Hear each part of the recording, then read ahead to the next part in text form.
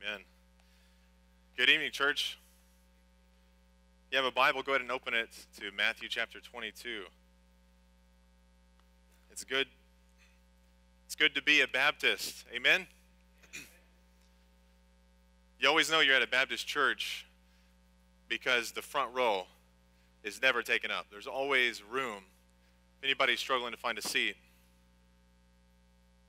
Um, you know, Spurgeon was a Baptist, but his, his parents were not.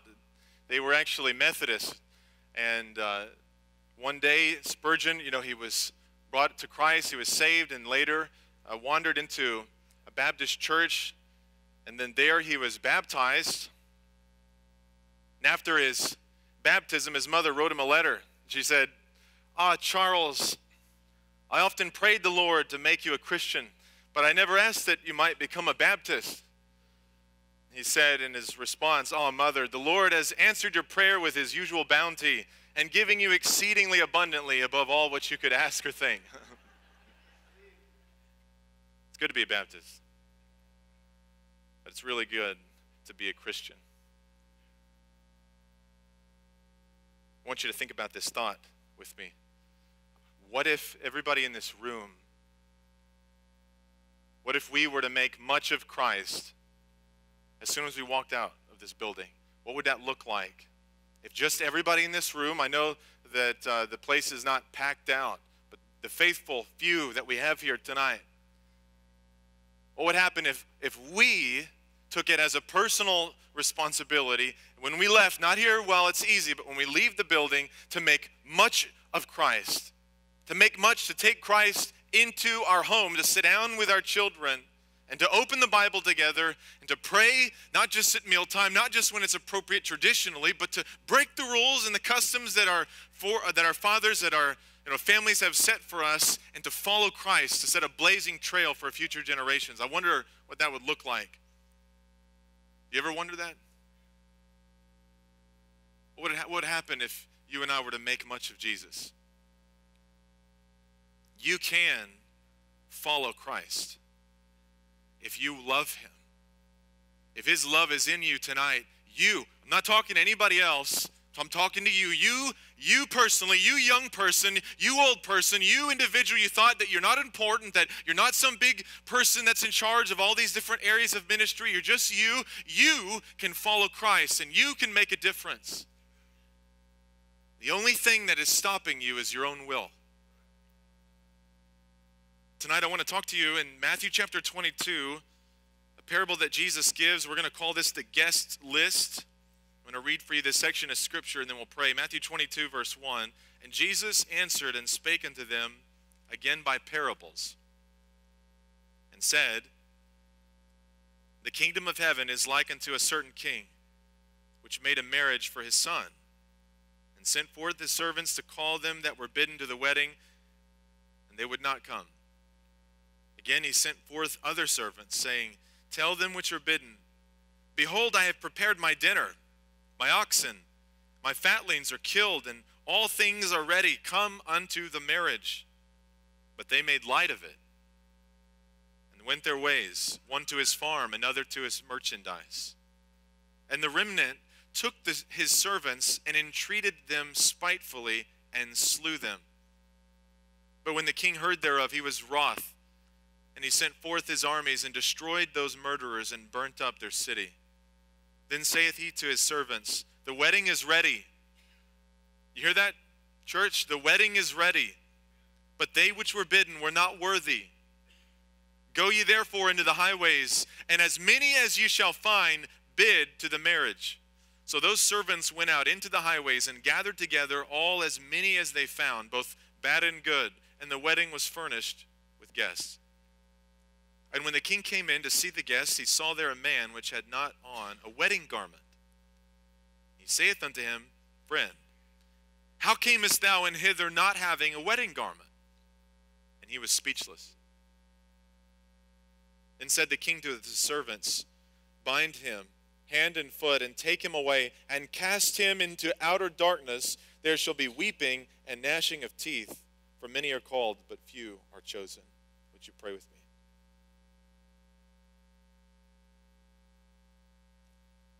Father, tonight here we are gathered again, and we have called this a revival meeting. But we know, Lord, we know that revival cannot come without your spirit breaking forth upon us. And we humble ourselves, Lord, and we ask you to be merciful. We are sinful, we are unworthy. God, you see through all the pretenses. You see through all the things that we say to others, the names that we carry, the reputations that follow us. God, you see inside the depravity of our hearts, the desperation in our nature. You know that we are hopeless, but Lord, you have come to us.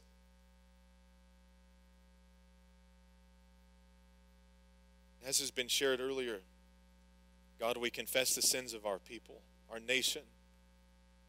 We are not innocent. You have called us to be the light of the world. And God, we have sit down.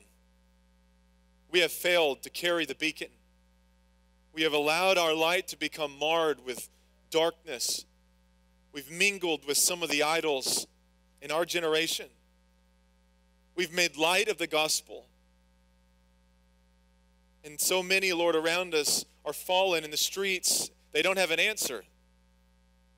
They're even asking, and they don't know who Christ is and they don't know the power of salvation, Lord, because we haven't gone. And Lord, we confess to you now, please change us and make us new.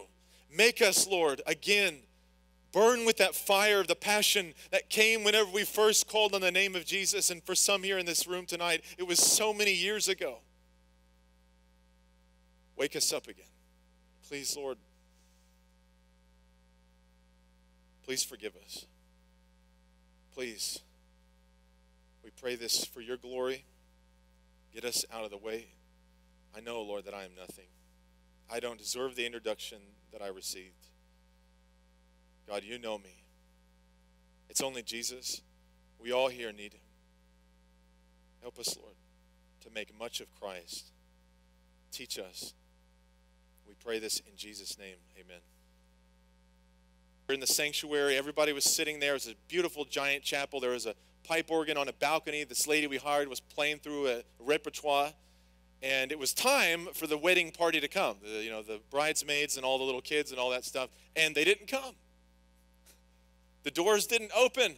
Song after song after song. And I didn't get to know. I wasn't privy to the information. There was no walkie talkies. I was just sitting there sweating with the pastor who was going to marry us.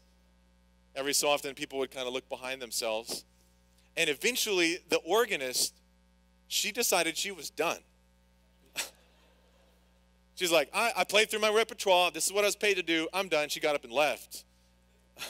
and then there was this really awkward silence for about a minute. And I, the guy that was standing next to me, this is God's providence, he was standing next to me. He wasn't actually in the wedding, he was just a friend of mine. And he just so happened to be a concert pianist. Amen? Right? And there was a piano at the front. And without blinking, he runs up to the front. He sits down on the piano. From memory, he starts playing some Bach or Beethoven, like classical music. And then nobody knew what was going on. I thought, wow. Now, eventually, you know, before the sun went down, my wife came through the building. we got married. it wasn't her fault. Something about her dress wasn't put together. But I just wanted to give you a picture into our wedding because you probably connect that with a memory of your own. And you've got to get the imagery of a wedding here. Because this is the story that Jesus is giving to us to draw us a picture of what is being prepared for you and for me right now in heaven. You remember John or in John when Jesus told his disciples, "I'm going to prepare a place for you, that where I am, you may be also." Now he says this in the beginning of chapter 22. He says, "The kingdom of heaven is like this is what uh, it could be compared to. It's like a certain king which made a marriage for his son. Do you get the imagery? Is anybody catching what Jesus is putting down? A king is making a wedding for his son, and so he sent forth his servants to call them that were bidden to the wedding. The word bidden there means invited. There were certain people that were already on the guest list, and now it was time for the wedding to get ready. So the servants went out and you know, in famous uh, ancient fashion, in the Jewish culture, they'd have this dance. They're going down the street, and they would call the people uh, that were invited to the wedding, and they would say, The wedding is ready. Come to the wedding. The Bible says that they would not come, those who were invited. Verse 4 And he sent forth other servants, saying, Tell them which are bidden. Behold, I have prepared my dinner, my oxen and my fatlings are killed, and all things are ready. Come unto the marriage. But they made light of it, and went their ways, one to his farm, another to his merchandise. This is the first group of people uh, that were invited to the wedding, and we're going to call this group of people the rejects. Okay? The rejects, this group of people rejected the invitation. They said, Thanks, but no thanks. Notice here now the grace of God that's being told in the story because when they rejected the offer, the king sent the servants out a second time. And he said, Go and tell them, woo them, remind them of the feast that's been prepared. All of the, the animals that have been killed and all the beauty and the decorations, they're all set. Don't you want to don't you want to come to this wedding? Maybe, you know, there was this idea that they had forgot some of those details. The servants went back out to it, but that, then, at that invitation, the Bible says, verse 5, that they made light of it. So we're going to call this group of people the rejects. They rejected, and then they were rejected. They didn't care. Now, this kind of reminds me of the rich man that Jesus talked about, and we mentioned this last night. He wasn't a careless man, he cared, but he cared about the wrong things. Verse uh, 5 goes on to say that they went their ways, one to his farm and another to his merchandise. Why didn't they want to come to the wedding? Well, they had their reasons the farm and the fun, the mansion and the merch and merchandise. Now, let me just make it plain for you. The wedding that is being prepared in heaven, this kingdom of heaven, is likened to this great festival, this great feast, this great celebration. What do you think heaven's going to be like? Some people imagine heaven as like this just endless, infinite cloud, gray and blue, and people are kind of floating around as ghostly figures with nothing to do. Bored, confused, like, why are we here? But the Bible describes it differently. It says it's a celebration, it says it's exciting, it's a place that you want to be. But they just didn't get it. The people that were invited, they just did not get it. They were too focused on what was right in front of them that they couldn't pay attention to this incredible offer that they were being offered. And the, the picture here that God is trying to draw for us is that He's saying, Look, I know that you're concerned about things in your life. I know you got stuff going on. You're busy. You've got your farm and you've got your stuff that you got to take care of, and everybody's got their taxes that they got to pay, and they got their children, and they got all these other things. But here is God saying to us, there is something better that is being prepared. Are you paying attention? Are you paying attention? Are you going to come? When you are invited, are you going to come to the wedding? But they just didn't get it. They didn't care and they made light of it. They said, ah, the wedding, I can take it or leave it. There was, it reminds me of a story. Um, there was a man who was walking down the street and he ran into Spurgeon just a couple hundred years ago. And he said to Spurgeon, he said, you know, he had heard that, you know, Spurgeon was this famous preacher in England. And he said, Spurgeon, I just, I don't, I don't really accept your God. I'm an agnostic. Spurgeon said, ah, but agnostic, that's a Greek word. We speak English. What you mean to say is you're an ignoramus. That's what it means.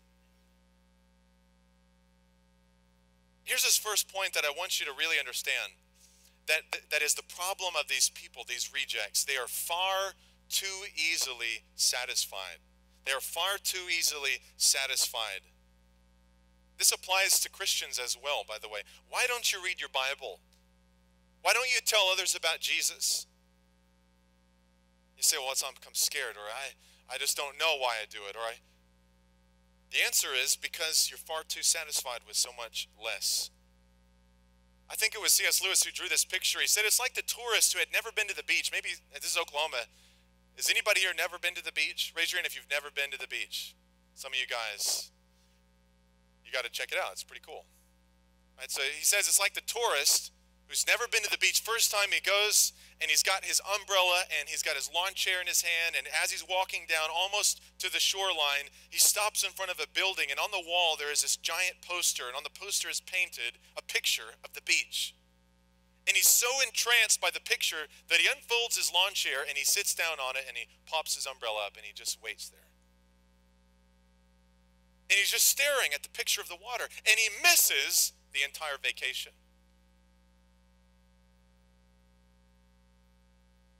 Lewis says, Why do we chase immorality?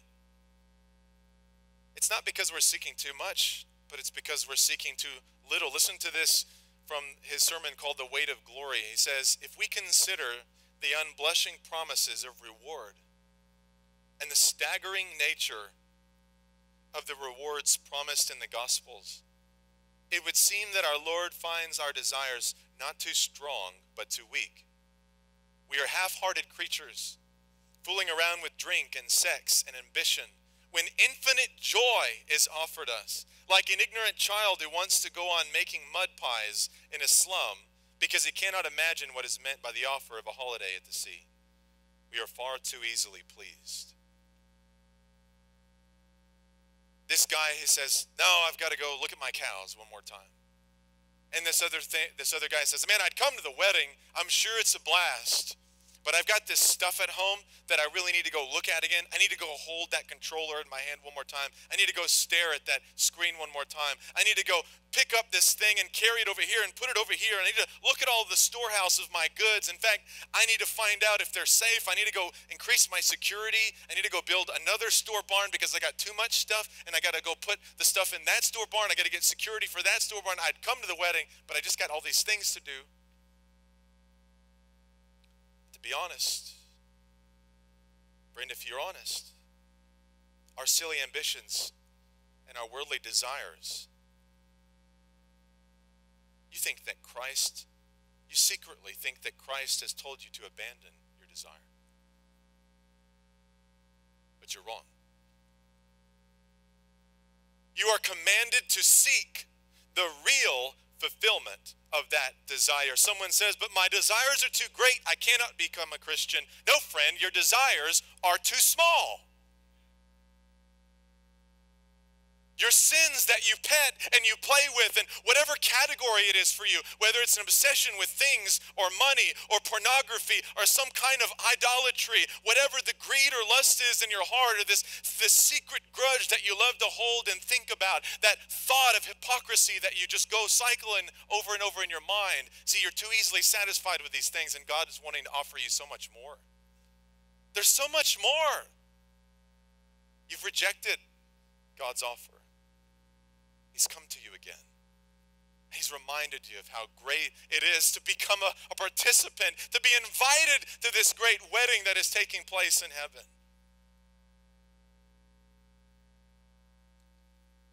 It's like someone had invited you to eat at an all you can eat steakhouse, and they're going to pay for your way, and on the way there, you stopped and ate at Taco Bell, which is the worst, by the way. If you don't believe me, just read up some of the news on the quality of their meat. Well, at my wedding, which was many moons ago, and uh, some of you are like, no, you're young, brother. Well, everybody knows who's a parent. Before you had kids, like it's like an ancient thing. You forget all that stuff that happened before you had kids. I've met some of my friends, you know, in high school. We, I didn't go to my 10 year reunion, but I've seen them on social media, and they'll say, "Hey, you remember when we did this?" And I think, I have no idea what you're talking about, man. I there's no hard drive space left. It's all been filled up with baby pictures. But some time ago, as my pictures tell me, uh, at our wedding, which by the way my in-laws paid for completely, praise God for that. There was a couple amens. We had this huge reception. It was a it was a buffet of red snapper and filet mignon, if you can believe that. That was good stuff. Now somebody invited you to that. An all you can eat buffet of filet mignon and red snapper said, You don't got to pay the ticket. I'm just giving it to you. Aren't you going to come? What TV show would keep you from coming to that reception? well, brother, there's a rerun on. I got to stay home and watch it. Maybe next time. You don't realize, friend, that you are missing real joy. Real joy. Some of you, even right now, you don't even know what I'm talking about. You're sitting there with a frown on your face. Adrian Rogers says, looks like you got weaned by a dill pickle. There's no joy in your heart because you've been seeking after so many things that are less than God. And God says, just look up to the heavens. I don't want to just keep you from enjoying life. I want to give you life abundantly. I want to teach you what it's about. Who do you think created the rainbow?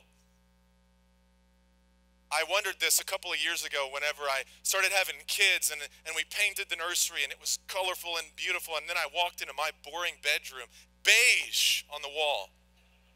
I thought, what is this? What happens when we grow up? We forget colors, we go blind. You got to rage against the beige, friend. Color comes from God. He created it. Fun comes from God. He created it. Sexual fulfillment comes from God. He created it. He's the maker of the stars. Satan didn't make anything. Don't be fooled by the lie. God is inviting you to a wedding. Are you coming? Or are you rejecting it? You reject? Listen to this psalm. Psalm 36 is one of my favorite passages. Psalm 36, verse 7. How excellent is thy loving kindness, O God. Therefore, the children of men put their trust under the shadow of thy wings. They shall be abundantly satisfied with the fatness of thy house, and thou shalt make them drink of the river of thy pleasures, for with thee is the fountain of life. Did you know the Bible said that? You've been trying to fill your face with spiritual Taco Bell. You're not getting anything out of that.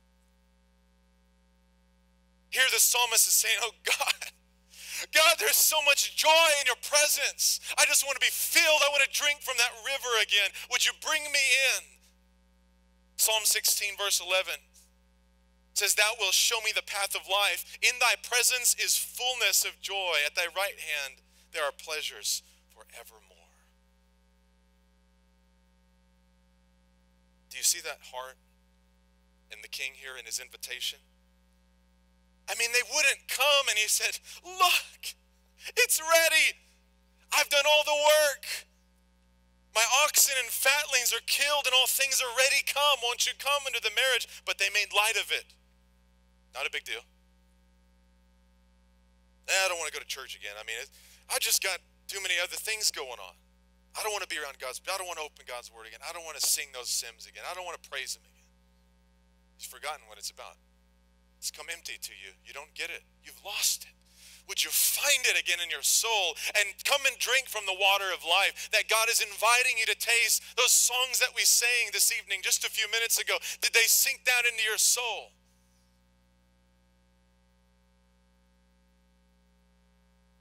To God be the glory.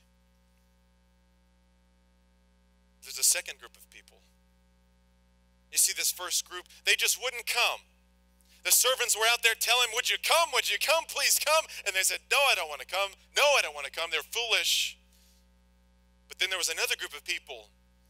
Verse 6 says, And the remnant took his servants and entreated them spitefully and slew them. We'll call this group the rebels. Now, I hope you see the picture here overall is, is, is this kind of just summary throughout history how God came to man. And you remember when he spoke to Abraham, as the scriptures tell us, and he called to himself a people, and he gave him a promise, and he made him a covenant. And through him came this great nation that God selected and set apart and said, I'm going to make you my special treasure. I want to make you the bearers of light to go into the world. And he sent him prophets, the servants. But so many of them rejected God. And then some of them actually killed them, killed the servants, killed the prophets. This statement to me is hard to imagine. I mean, just imagine it for a second. Somebody comes and says, Hey, there's an amazing party going on. There's this incredible festival. There's this feast. The king wants you to come. He's made it all ready. It's free. Here's your invitation. Don't you want to come? And then the person who's getting that invitation says, No, I don't want to come. And then he kills the one who made the invitation. Is that, does that even make sense? It's unthinkable. They abused and murdered the servants who were inviting them to a wedding. Now, Jesus, remember, he's telling this story. Okay, he's talking to a mixed group of people. There's a lot of religious people there. And they're not happy with what he's saying. In fact, if you just skip ahead to the end of the story, you know it says in verse 15? The Pharisees then went and they took counsel. They started conspiring how they could try to trap Jesus. They did not like this parable. And you can imagine, as somebody sitting there in the crowd, Jesus tells the story, and then he gets to that part where he says, and then some of them killed the servants. You just imagine somebody saying, Oh, Jesus. They wouldn't do that. That's not what would happen. You wouldn't kill someone who is inviting you to a wedding. Everybody knows that. And then Jesus looks at them and says, Really? Then why did you murder the prophets? What are you going to do with me? What are you going to do to me? And this group of people backing up into the shadows, hardening their heart, hating the words coming out of his mouth. Some of you may be hating the words coming out of the scripture even right now, and your heart is closing in, and the darkness is taking over, and the whisperer from the dark is saying, Don't believe it, don't accept it, don't listen. They conspired, they entangled the servants. See, this group of people is different from the first group. The first group was so apathetic to the offer, they just ignored the servants over and over again. And they became this group of rejects. The second group were actually motivated. They went beyond passive and said, We're going to do something to stop this guy. We don't like the servants. We don't like the wedding. We're tired of hearing about it. And so we're going to actually trap you in a place and then we're going to murder you. We think that's a good idea. And again, you just think that's unthinkable. It's impossible. How could somebody grasp it? Somebody as nice and as kind and as loving, as forbearing as Jesus, who would do such a thing? And yet the story goes on to say that they took Christ and they conspired against him. They arrested him in the night. They forced a crown of thorns on his head in mockery. They beat him. They manipulated the crowds to shout out, Crucify him. They stripped him. They nailed him to a cross. They watched him die. They did it. What was his crime?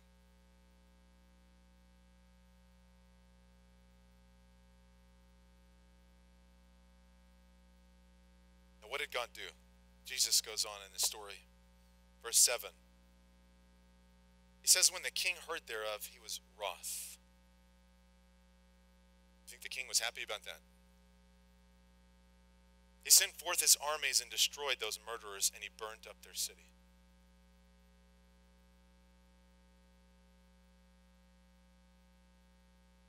If you think that God is going to sit idly by while the wicked continue in their rebellion and not execute his justice, then you're following the wrong God.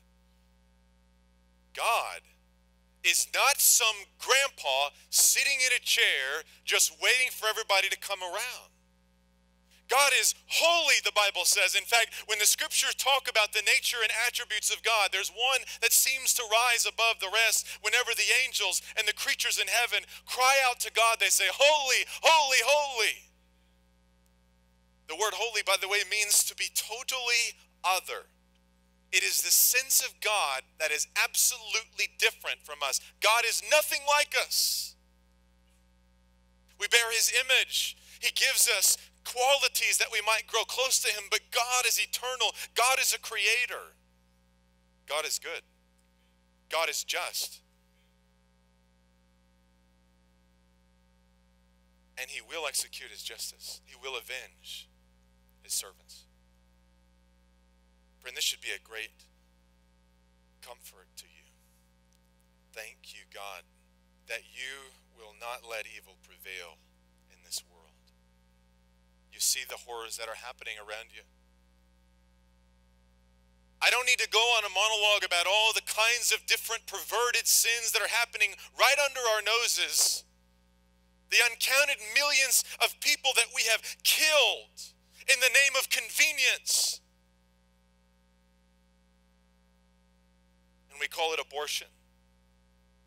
Do you think that God will sit idly by while his missionaries go forth into the nations and proclaim the gospel and are persecuted for righteousness' sake, are arrested, put in prisons, or their churches are burned and people are dying in the streets? Do you think that God will not execute justice? No, friend, he will. He will. And you need to be very careful that you're not among that group of rebels. You need to be very afraid because God is holy. He is holy. Notice when he says in verse 8, Then saith he to his servants, The wedding is ready. It's ready. Praise God.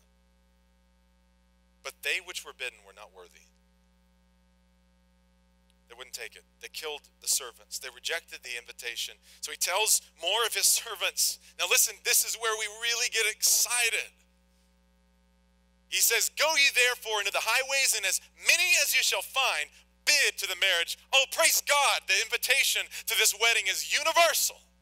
Everyone is invited to this wedding. God is not willing that anyone should perish, He wants them all to come to repentance. Praise God that you sitting in that pew right now have been given that offer, though you were far from God, though you were of another place, another people, another tribe, another tongue. You had no worth, no value in your own. You had no claim to that merit. You had no invitation to that wedding. And God said, Would you invite that person to come? He called us. He sent his servants. Find as many as you can. As many as you can. Isaiah 45, verse 22. Listen to this verse. God says, Look unto me and be ye saved, all the ends of the earth, for I am God and there is none else. Say amen. God is on a redemption mission, and He is looking at every soul, He is looking at every person. He's looking at you tonight. He's looking at your neighbor across the street, the one that you ignore when you walk into your house. God is looking to them. He is caring for them. He is desiring that they should know Christ. God is looking at the other nations, some who have been tortured, some who are impoverished, some who are facing malnourishment that you and I cannot possibly fathom, but God cares for them. He loves them and He wants them to know Christ. And He's calling you, friend, if you've been saved, listen, if you know Christ as your personal Savior, you have a mission in life, you have a purpose. It is to go forth as His servant and proclaim the gospel to the nations. Amen all nations, all people. But where do we stop, brother? You don't. Preach the gospel to every creature. But what if, I mean, come on. Maybe not everybody, everybody. But what if they don't like what we have to say? Well, they some of them killed the servants.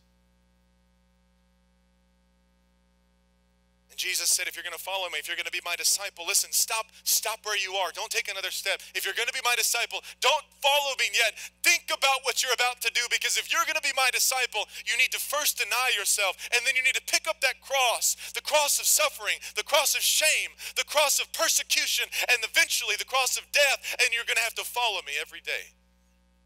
God didn't come to promise you prosperity and wealth in this life. Things that we have been blessed with come and go. Praise God. Praise God. Praise God if you have a house to live in, if you have a car to drive, if you have three meals a day. Praise God if you have healthy children. Praise God, people in the world don't have these things. And you should give Him glory, you should give Him thanks. But then God blesses us that we might be a blessing to others. And sometimes that channel gets stopped and we begin to hoard it and we get to hold it and we think it's about me, it's about us, it's not about them. And God says, break forth. Give what you have been given. Become an offering. He's not going to force you. He wants you to be a willing vessel. He loves a cheerful giver. Christ was willing. Christ was willing. God, did, God the Father didn't twist Jesus' arm to go to the cross. Christ was willing. John 10, I lay my life down willingly. I lay it down. I give it up. He had a claim to authority. He had a claim to power. He had a claim to wealth. He had a claim to all the things that heaven could afford. But he laid it down voluntarily, laid it down, friend. He laid it down so that he could become a servant, so that he could become an offering, so that he could become a sacrifice. And the Christians of this world, some people in this room tonight are Christians. And God is saying, Will you follow? Will you follow the example that Christ has set? Will you go? Will you go? Will you be one of these servants that go to the highways and the hedges? Oh, I want to be one of those people. I want to be one of those people, but God, I get stopped by my own sinfulness and I get carried away by my own fears and my own rebellion. And I, I just like the first group of people, I get so too easily satisfied. And there's so much more. Let's go quickly now to the third. The servants went out, they gathered everybody, as many as they found, both good and bad, and the wedding was furnished with guests. And when the king came in to see the guests, he saw there a man which had not on a wedding garment. And he said unto him, Friend, how, how camest thou in hither not having a wedding garment? He was speechless. Now, let me just tell you in this culture, in this in this ancient world in this society whenever a master would create something this this uh, special this kind of a banquet that was to be celebrated uh, he would often invite people to come and he would give them as a gift a garment a special piece of clothing to wear to this event. It wasn't like they had to buy it. They didn't have to bring it themselves. They were given it as a gift and when they came they would wear that as a sign of respect paid to the king or to the master and the servants go out and they offer all these things, and the people that are in now, they're all looking around, they're having a great time. But one of those guys is not wearing the wedding garment that he was offered. And the king comes in. Says, What are you doing here? Did you not get the wedding garment that I offered you? Well, yeah, I mean, I got it. You didn't put it on. Well, yeah, I didn't put it on. Look, the Bible says he had nothing to say. There was no good answer that he could give. What does this mean? What are we talking about here? This third group of people we're going to call the religious. I put it in quotes because, listen, I'm not saying that religion is a bad thing. The Bible in James, for, for example, chapter 1 says pure religion is to go and help the widow and the orphan, to go and do wise, to keep yourself spotless from this world. Religion is, is man's response and, and its best attempt to serve a living God. But religion can, can often constrain us from following God's Spirit. Religion can become lifeless and cold, and many people are religious that don't know Christ. Religion can make us lazy and blind. You see, there are those that came into this wedding, but they were not wearing the robe of righteousness, and he was speechless. What is this robe of righteousness? Listen to Isaiah chapter 61, verse 10. He says, I will greatly rejoice in the Lord. My soul shall be joyful in my God.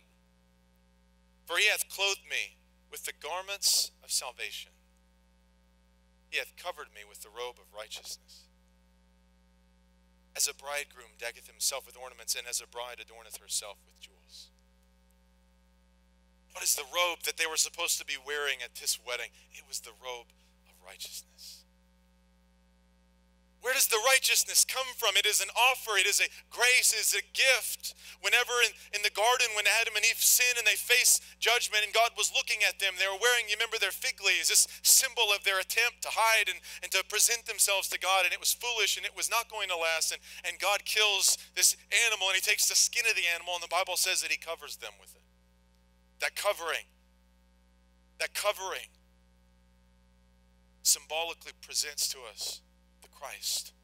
Jesus died, and his perfect righteousness is offered to you and to I as a gift to cover us, to cover us, to cleanse us so that we can be invited into the presence of God and not be ashamed. But see, there are those that would be standing there and they wouldn't have that robe on. They didn't have the blood of Christ covering their sin. They had nothing but their own empty religion. And when God comes to speak, they will be speechless. Romans chapter 3, verse 19. Listen to this. Now we know that what things soever the law saith, it saith to them who are under the law, that every mouth may be stopped, and all the world may become guilty before God.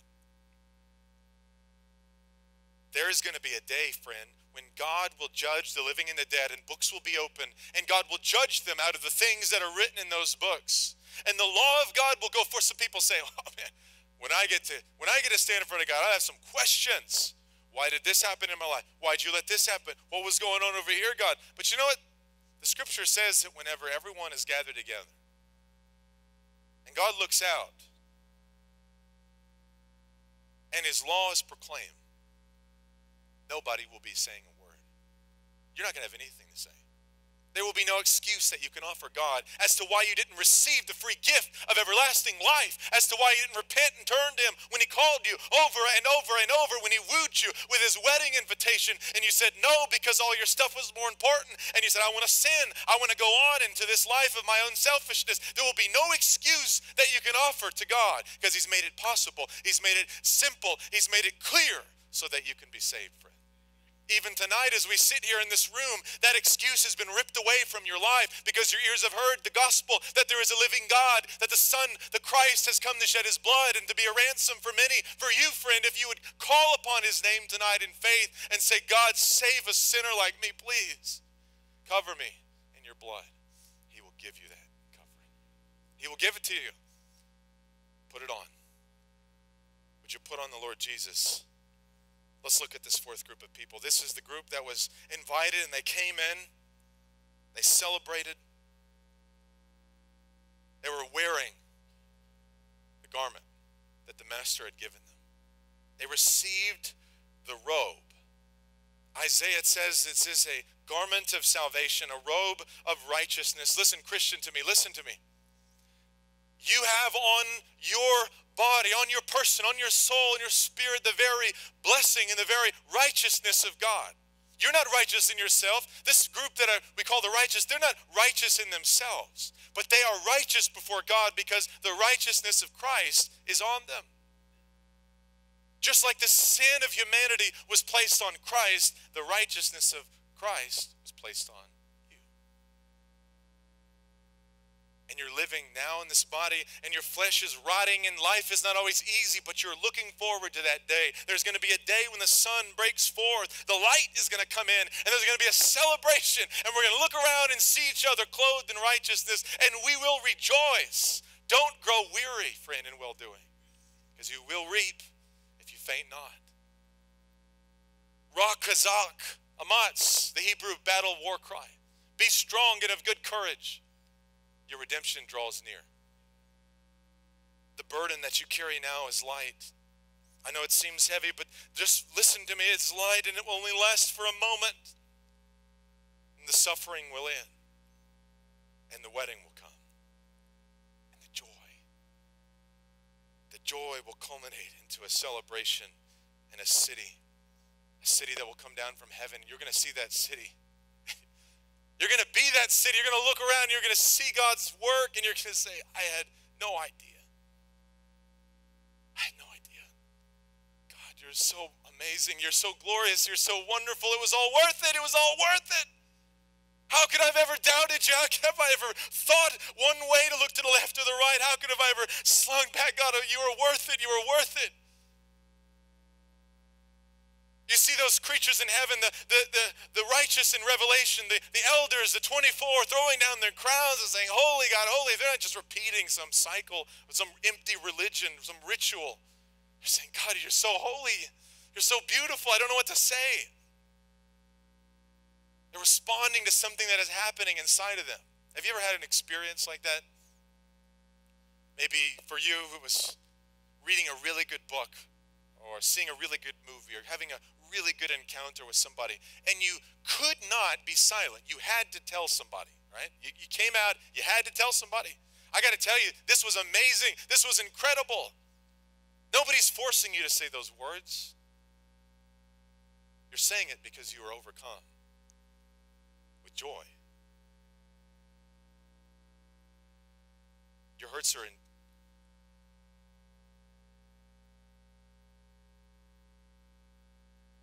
There may be much that you go through in this life. But, dear brother or sister, there is no pain. There is no weight that could keep you from that presence.